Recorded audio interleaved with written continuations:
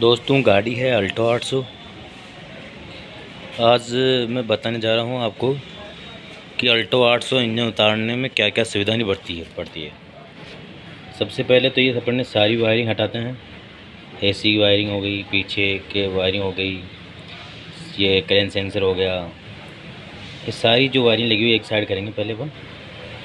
उसके बाद अपन गेयर आर्ड निकालेंगे। गेयर आर्ड निकालने के बाद ये जो हीटर पाइप वो निकालेंगे। हीटर पाइप निकाल ली, उसके बाद ये जो नीचे साइलेंस लगा हुआ, वो निकलेगा। इसकी जो बैलेंस आर्ट वो खुलेगी। दोनों साइड ब्रेकेट निकलेंगे। ब्रेकेट निकलने के बाद दोनों आगे की माउंटिंग खुलेगी। इसका रेडिएटर बाहर निकलेगा।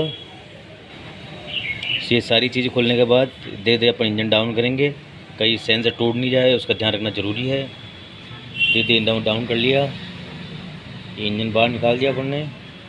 उसके बाद इसमें क्यों इंजन उतारा गया है, इसकी मैं आपको बताने जा रहा हूँ कि इंजन किस वजह से उतारा है क्यों उतारा है। दोस्तों, इंजन इससे उतारा गया है कि इसकी जो ये टांग है, ये गल चुकी है जहाँ सस्पेंस आराम लगती है। वहाँ से ये पीस नया लगेगा, इसकी जो टांग है वो नहीं लगेगी। टांग नहीं लगने के बाद आपको दोबारा वीडियो बना के